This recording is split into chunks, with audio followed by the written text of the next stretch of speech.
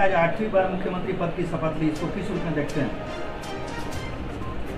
माननीय मुख्यमंत्री श्री नीतीश कुमार जी आठवीं बार अगर शपथ लिए हैं तो ये बहुत खुशी की बात है कि आठवीं बार मुख्यमंत्री बन गए। हैं? तेजस्वी यादव जी के साथ मिल करके सरकार अपना बना रहे हैं। सब चाचा और भतीजा दोनों आदमी चाचा भतीजा मिल के। हैं? कल तक तेजस्वी यादव बोलते थे कि बेरोजगारों को रोज़गार दिलाने के लिए हम ऐसे कर रहे हैं झगड़ा कर रहे हैं ये कर रहे हैं वो कर रहे हैं। अब अच्छी बात है रोज़गार मिलेगा। जो नीतीश कुमार अंतरात्मा की आवाज़ सुन के उन्होंने राजद का पार्टी छोड़ा था आज फिर से उसी के साथ जाके जुड़ गए हैं। इस पर क्या कहना चाहेंगे? वो क्या कहना है? उनकी मर्ज़ी है। जहाँ उनका इच्छा भरा वहाँ गए। दुख हमको इस बात का है कि विकास का काम में बाधित होगा।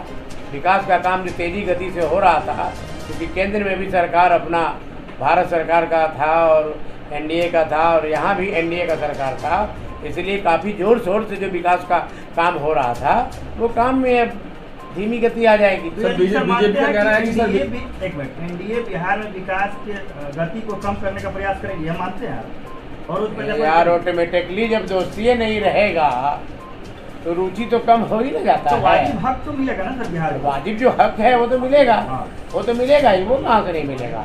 लेकिन जो अतिरिक्त जो चढ़ बढ़ के जो हिस्सा लेते थे लोग वो अब नहीं ना। सवाल भी शामिल हैं। आप आप भी अपना आकलन किए होंगे आखिर कौन सा ऐसा कारण था जिसे नीतीश कुमार का मोह भंग हुआ एनडीए से? अरे भैया दोनों आदमी में नहीं पटरी खाया तभी ना अलग हुआ। दो आदमी अलग कैसे होते हैं? ये दोनों में चाचा भतीजा नहीं होता है। चल पाएगी क्या इस बार चाचा भतीजा सरकार चला पाएँगे चौबीस तक अभी तो आज शपथ ग्रहण हुआ है अभी देखिए ना कुछ दिन भाई दो चार छः महीना अभी इंतज़ार कीजिए देखिए चाचा भतीजा का सरकार कैसा चलता है क्या करेंगे नहीं करेंगे तेजस्वी यादव जी रोज़गार दिलाने के ऊपर बहुत दबाव बहुत बल दिया करते थे माननीय मुख्यमंत्री नीतीश कुमार जी के ऊपर।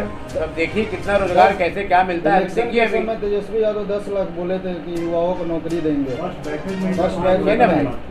बैठक में बात हुई थी तो ठीक है देखिए ना अभी दो चार छः महीना समय। दीजिए देखिए क्या क्या काम विकास का हो रहा है कितने रोजगारों को बेरोजगार को नौकरी मिल रहा है ये सब अभी देखिए। अभी तुरंत आज शपथ ग्रहण हुआ है और आज ही कुछ कहना अच्छी बात नहीं बड़ा सवाल है कि जेपी नड्डा आए उन्होंने कहा कि क्षेत्रीय पार्टी जो है अब खत्म होगी। ऐसे में क्या नीतीश कुमार को नाग, नागवार गुजरा ये क्षेत्रीय पार्टी खत्म होगी हो सकता है किसके बाद से किसको नागवार गुजरा कि क्या गुजरा ये तो हम नहीं ना बोल सकते हैं। हम इतना जानते हैं कि एनडीए में हम हैं एनडीए में रहें। सर आप भी क्षेत्रीय पार्टियाँ इस बयान को किस रूप में ले रहे थे जिस तरह से जेपी नड्डा ने कहा था कि क्षेत्रीय पार्टियाँ समाप्त हो जाएँगी। ये बयान कहाँ तक जायज़ था? आप आप अपने प्रदेश में किस अब इस बयान कहाँ तक जायज़ था नहीं जायज़ था वो हमारे राष्ट्रीय अध्यक्ष जी इस पर निर्णय लेंगे राष्ट्रीय अध्यक्ष जी विचार करेंगे। हम कौन होते हैं? अच्छा, हम तो एक पार्टी का पदाधिकारी हैं अपना पार्टी के लिए काम करते हैं। जो आदेश होता है उसका हम पालन करते हैं। सर जानकारी मिली है कि आरजेडी कोटी से ही ज़्यादा मंत्री बनेंगे।